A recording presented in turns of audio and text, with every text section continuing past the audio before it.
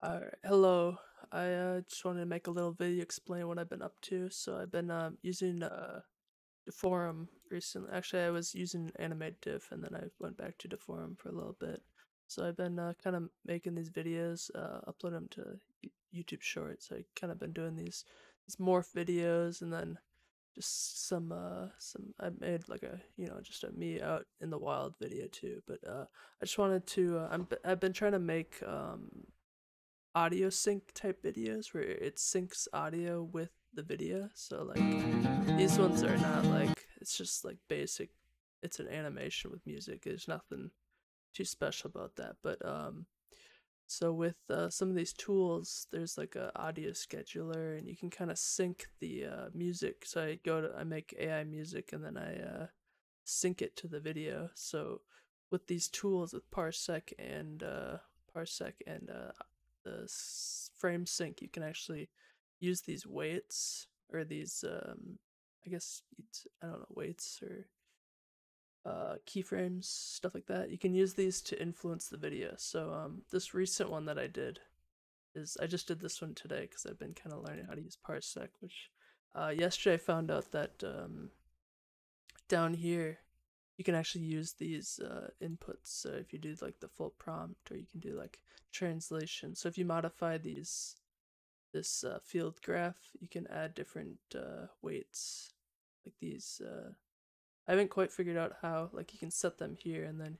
you can modify them here, and then uh, you can do some like think you can like modify the yeah you can like just add i haven't figured out how to like modify the whole page yet maybe with these like with these oh these are keyframes so you uh you set these keyframes and then it must um connect them all with like lines or whatever so i'll have to figure out that later. Also i wanted to mention that um for custom weights you can actually add like a custom so you add this prompt weight and then you can add like I think you can add like prompt weight in here or something. So you can add, so you can have the graph thing modify the weight here. I think, yeah, you can modify. So right now the weight is nothing, but you can modify that to, I'm still figuring this out. So, you know, but I just want to make a little video so that other people can start using this because uh, there's not very many videos about how to use Parseq and weight modifying for Deforum videos and all that because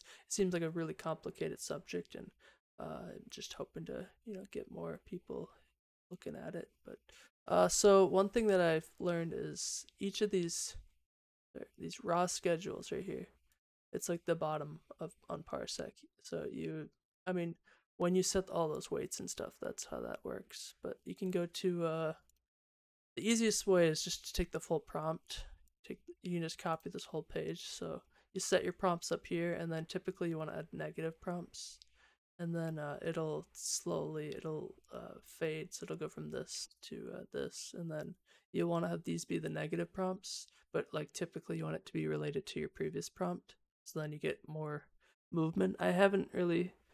Uh, that's kind of what I'm hoping to do next. Uh, is figure out how to do more prompt stuff. So Alright, this one didn't work out very well because it's all like dragon related, so the video got really weird, whereas because it was like dragon and then dragon is also in the negative, so it kind of is like gets confused. But also another way you can do it is you can take a music video, so you can just take a music and upload the file here, and then you get all of these weights. So and then I believe you can just use these weights anywhere. So uh, in your comfy prompt, um, so in here you can actually use these. So uh, what I did, because I was just I was just testing here, so I took all these. So I took like the first like thirty or whatever. Took like the first like you know these, and then I just threw them on to. Uh, so these are weight or uh, schedules. So this is the frame, and this is the weight. I guess is what it's doing. So it um for or like uh, if I wanted to modify, I just did these random because I was just testing. But you can, I think you can just add them to any of these. So like, I've seen a lot of people they add it to the uh the simple string or like the sorry, this is a simple string. These are the inputs, but it's modifying the noise schedule. So I could add like this whole frame sync. I could add this whole frame sync into there, and then these are different weights, so it'll change the weights. Which I think when you're actually doing a video, it's kind of hard to tell when the uh, when these weights are changed. I mean, I'll have to mess with it more, or if if you use this, you can look at these. But so uh, by default, I think it just sets it to 0.6. But in here, it's like you can set it to like, I think I had it set to like 0.3 or something. But I haven't really figured out how that all works yet. So, but I just wanted to make a you know a video so that there's something on the internet telling you that frame sync is a thing, and you can use these to modify your Deforum prompts, which I just found this out. You know, they take string inputs, so you can change your uh, uh, these to inputs. So you just like set one to an input, and then you can just get it, make another one of these strings. Uh, so you just take and make another one, and then you just attach it, and then that's a new. That'll modify your video. So uh, I, I mean, if you figure out a good way to modify these, and then these, this is all through parseq. So each of these weights up here, or down right here, these weights, when these get modified, which I think get modified in here, this is where they get modified. Um, I think. Uh, correct me if I'm wrong, but you modify these here, and then when you go down to here, to the bottom, to the bottom, uh, in the raw schedules, you can open up the weight here, and then you can just copy these weights. So this is one that was like I I kind of took this one from a pre one, so I haven't actually modified it, all this stuff yet. But I took somebody else's and they have theirs modified, and then I can kind of use their same values in my video or whatever. But uh, hopefully you can figure out how to do this more. So yeah, so uh, yeah. Uh, oh, and the video that I made here, I'll show you that. This is it's kind of weird. I'll I'll upload it to my uh YouTube, but the video so it starts off kind of weird. Uh, but I think it's changing because I have like uh like old like old dragon or whatever, and then wise old dragon, and then like a rugged dragon, but uh, because I have like those things in here, like because it's in the negative, it turns into like a like a rainbow dragon. That's kind of bright colors and stuff.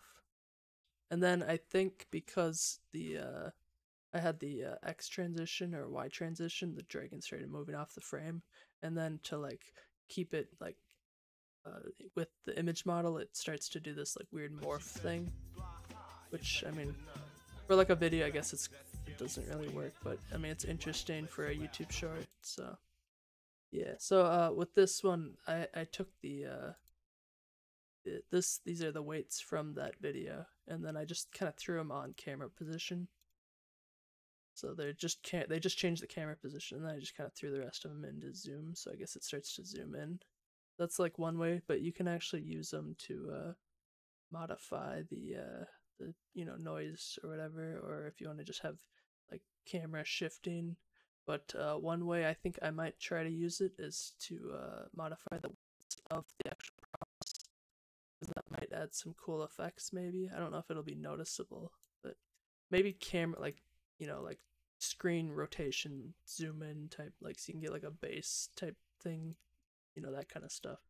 Uh that will uh that might be a way to use the frame sync and have it like make sense.